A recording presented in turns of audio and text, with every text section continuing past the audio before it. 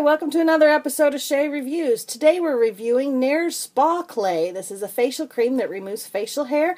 It is the sensitive skin formula. It's been dermatologist attested. It uh, moisturizes with mango and acai berry.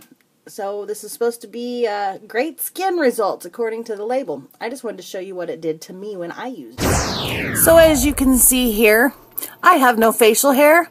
But what I do have is chemical burns, scabbing, breaking out, and it felt terrible. So whenever you see anything by Nair, not only beware of Nair, but buy a razor!